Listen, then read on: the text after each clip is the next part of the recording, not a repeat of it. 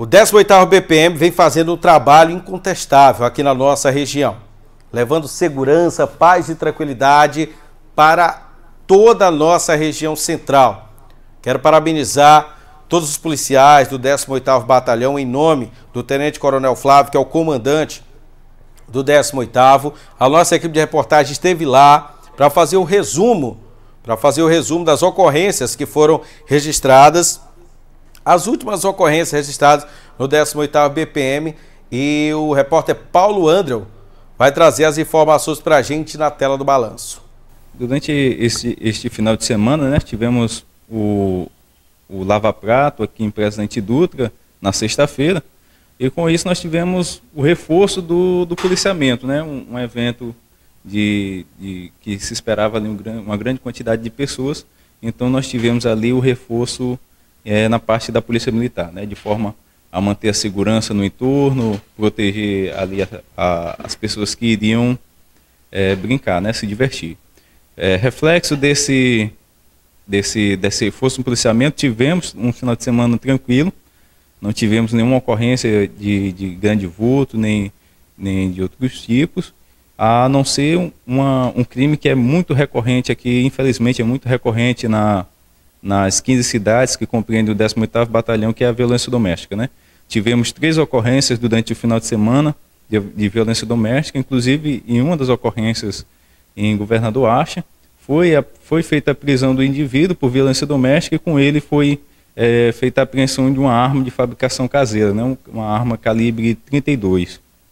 Então a gente é, fomos, atendemos todas as ocorrências de violência doméstica, Sempre indicamos que as vítimas procurem ajuda, procurem a Polícia Militar, a Delegacia, o Ministério Público, ou até mesmo a Defensoria Pública, que vai ser prestado a, a, o melhor atendimento possível, né?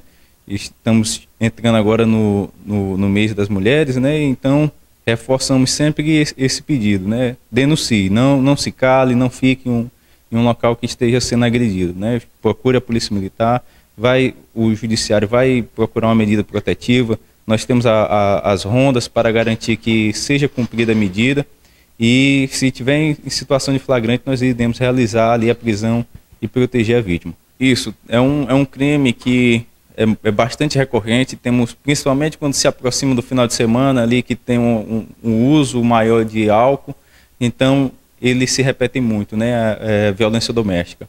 E a gente sempre reforça, nós temos mecanismos para estar acompanhando, todo o aparato público aqui está pronto para receber as vítimas, dar o melhor atendimento ali possível, para que esse retire do, do ciclo da violência. Né? Muitas vezes a, a, vítima ali fica presa por conta social, financeira, e por isso que é importante que nós montamos uma rede de apoio, né? o, o Estado possui uma rede de apoio em parceria com o município também, para que faça o atendimento da vítima e ela ali não continue nesse ambiente de agressão. Inclusive, agora no estado do Maranhão, nós estamos com uma operação em todo o estado do Maranhão chamada Operação Ática, que visa justamente isso, ações de conscientização, de repressão aos crimes de violência doméstica. Então é isso, mais uma vez volto a intensificar para você que os trabalhos, os trabalhos de proteção, de prevenção, de cuidados com a mulher vão ser intensificados, vão ser intensificados durante todo esse mês. É um mês completamente voltado para as mulheres.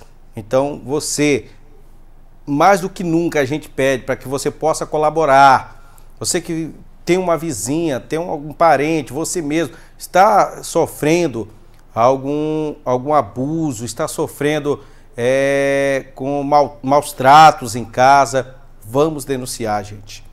A sua denúncia pode salvar uma vida.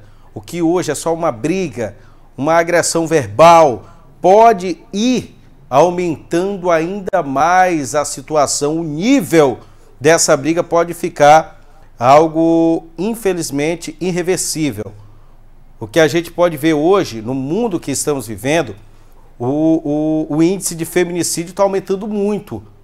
Mulheres que, que casam com monstros, com monstros, que, que se dizem ali por algum tempo ser um, um, um cara legal, de repente começa com uma discussão, começa com palavras, palavras, daí a pouco vem um empurrão, vem um tapa, Daí então, meu amigo, minha amiga, infelizmente pode chegar até um feminicídio.